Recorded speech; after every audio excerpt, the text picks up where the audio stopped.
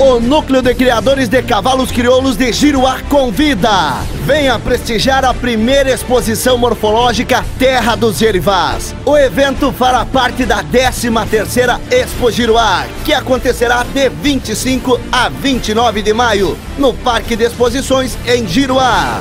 Atenção para as datas! Dia 27 de maio, às 14 horas, concentração de machos. Dia 28 de maio, exposição morfológica com admissão às 9 horas. E a exposição às 14 horas.